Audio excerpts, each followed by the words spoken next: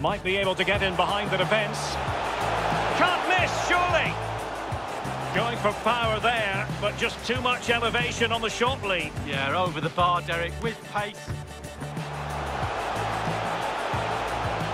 He could pick out a teammate.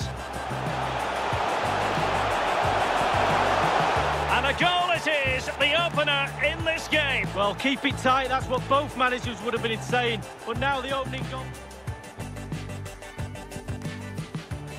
Under real pressure defensively, will they pay the price? Must score! High degree of difficulty to hit it on the volley like that, and it was close. Well, it's all about timing. You've got to wait.